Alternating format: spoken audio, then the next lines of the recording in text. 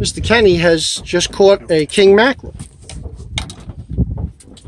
Um, where, where is the uh, back? Let me step on.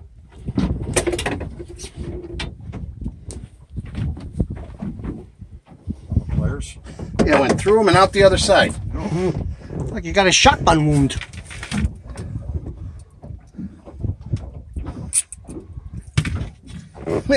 I know.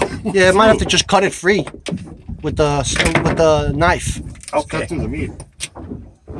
Like, uh, I'll hold this. See how he, he ran uh, sideways?